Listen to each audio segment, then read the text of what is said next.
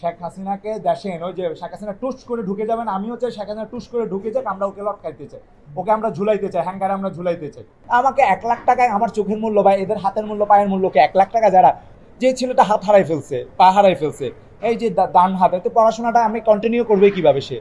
তার সামনের ভবিষ্যৎটা কি হবে হ্যাঁ? আমি আপনাদের কাছে প্রশ্ন রাখতে চাই, যারা পুলিশ সংশ্লিষ্ট না, যেখানে সংস্কার কমিশন হয়, ওখানে আমলারা, সচিবরা ঢুকাই দেওয়া হয়। সচিবরা তো এই ব্যুরোক্রেটরা তো একটা পাঁচটা দশটা অফিস করে শুক্র, শনি ওদের অফ ডে ওদের মতো করে ওরা চলে। আমরা জুলাই ফাউন্ডেশনে যারা আছেন, ধরেন আমাদের, জুলাই ফাউন্ডেশন তো এখন আবার রিফর্ম হয়েছে। সভাপতি ছিলেন আমাদের প্রধান উপদেষ্টা মহোদয়। তখন আমরা ওনার সাথে কথা বলছি। আর যারা যারা দায়িত্বশীল আছে নতুন যারা আসছে, তাদের সাথে হয়তো বসা হয় নাই। কয়েকবার, কয়েক মোবাইল ফোনে সরাসরি আমরা কথা বলছি। ওনারা ওনাদের কিছু মানে নতুন জায়গা, ওনাদের কিছু দুর্বলতা ওনারা স্বীকার করছেন। কিন্তু আসলে স্বীকার তো আমার খুব ইমার্জেন্সি দরকার ব্যাপারগুলো, না? ধরেন ওনারা টাকা দিচ্ছেন, খুব ফাওয়াও করে প্রচার হচ্ছে, কয়জনের হাতে গেল? আমাকে একটু বলেন, কয়জনের হাতে? ধরেন আড়াই কোটি টাকা দিল। আড়াই কোটি টাকা যদি আমি আড়াইশো মানুষ হইতে পারে, এখন হয়তো আরও একটু বাড়ছে। ধরেন সর্বোচ্চ ধরলাম পাঁচশো মানুষকে ওনারা দিল। আমার কি আহত বা শহীদ পরিবার শুধু পাঁচশো? হ্যাঁ? আমার তো অনেক অনেক পরিমাণ হিউজ আমার। আর আমি আহতদের কোনো টাকা পয়সা, আমার পার্সোনাল অপিনিয়ন টাকা পয়সা চাচ্ছি না। ওদের উন্নত চিকিৎসা চাচ্ছি, রাষ্ট্র তাদের জন্য পূর্ণাঙ্গ দায় দায়টা নেয় যে ছেলেটা হাত হারাই ফেলছে, পা হারাই ফেলছে, এই যে দা- ডান হাতে তো পড়াশোনাটা আমি কন্টিনিউ করবে কীভাবে সে? তার সামনের ভবিষ্যৎটা কি হবে হ্যাঁ? আমাকে এক লাখ টাকায় আমার চোখের মূল্য বা এদের হাতের মূল্য, পায়ের মূল্যকে এক লাখ টাকা যারা, এটা হচ্ছে সর্বোচ্চ এক লাখ টাকা বলছে। সর্বোচ্চ মানে সবাইকে এক লাখ টাকা দিবে না। প্রাথমিক একটা বলল যে, তাহলে তাদেরকে দিবে না।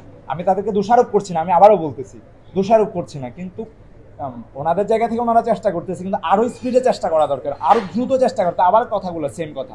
মানুষ তো এখন ধরেন, সময় গেলে তো সাধন হয় না। আমার তো এখন দরকার, আমি এখন খাইতে পারতেছি না। তখন আমি দুই মাস পরে ভালো হয়ে গেলাম, তখন আমি কিছু একটা করতে পারব, তখন আমার খাবার নিয়ে সমস্যা হবে না। আমি তখন আমার আমার যে এখন মানসিক সমস্যাগুলো, ধরেন সবাই মানসিক ট্রমায় পোস্ট পোস্ট ট্রমাটিক ডিসঅর্ডার যেটাকে বলে।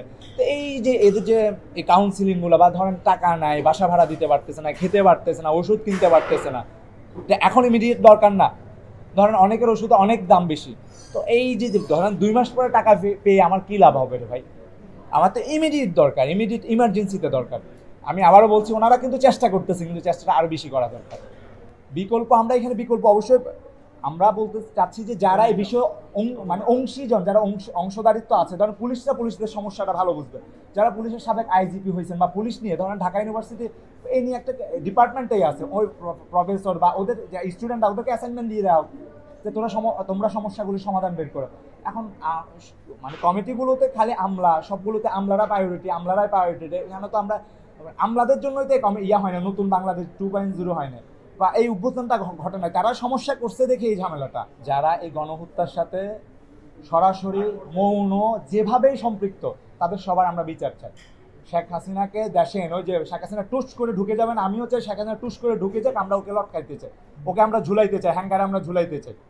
তাকে আমাদের এতগুলো ভাইকে মেরে ফেলল, আমাদেরকে পঙ্গু বানাই দিয়ে গেল। তার বিচার দেখতে চায়, তার যতগুলো দোষর আছে, তাদের সবার আমরা বিচার দেখতে চাই। তাদের বিচার আমাদের জীবন দশায়। যেন ওর বাপ দাদার বিচার করছে, পঞ্চাশ বছর এসে, সে যে দোষ করে গেছে, তার বিচার আমরা, এখন তো আধুনিক যুগ, আধুনিক সব কিছু ফ্যাসিলিটি ইন্টারপোলের মাধ্যমে আনুক, যেভাবে হোক আমরা তো আর এত কিছু বুঝি না। আমরা কখনো আমাদেরকে দুই পৃষ্ঠা তো সংবিধানও পড়ানো হয় না রাষ্ট্রের নীতিমালাও পড়ানো হয় আমরা আমরা ইন্টার পর্যন্ত পড়াশোনা করলাম যে এখন কেউ আমাদেরকে দুই পৃষ্ঠা সংবিধানের এই আমরা সংবিধান সম্বন্ধে কোনো আইডিয়াই নেই। আমাদের বিচার ব্যবস্থা কেমন? এই বিষয়টা আমাদেরকে পড়ানো হয় না আমাদের সিলেবাস এই তো না। আমরা এই বিষয়গুলো জানব কীভাবে? আপনাদেরকে প্রস্তাবনায় দিব কীভাবে? আর এখন আমরা একটা নতুন সংবিধান চাচ্ছি। এই যে পুরনো কাটা ছেঁড়া করতে করতে, এটা হচ্ছে স্বৈরাচারী সংবিধান। যেই আসে, সে তার মতো দলীয় গঠনতন্ত্র বানায়। তো নিজস্ব মতামতটা ছাপাই দেয়।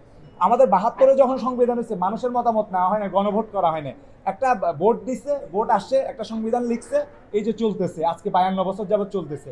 আমরা বাংলাদেশ, নতুন বাংলাদেশ বিনির্মাণ হয়েছে। আমাদের চাওয়াটা হচ্ছে কোনোভাবে যেন পুরনো এই সংবিধান না, নতুন সংবিধান জনগণের অভিপ্রায়ে প্রত্যেকটা মানুষের, রিক্সাওয়ালা, ভ্যানওয়ালা, ট্যাক্সিওয়ালা, যারা আছে, একদম এলিট শ্রেণি সবার মতামত নিয়ে নতুন একটা সংবিধান আমরা চাই।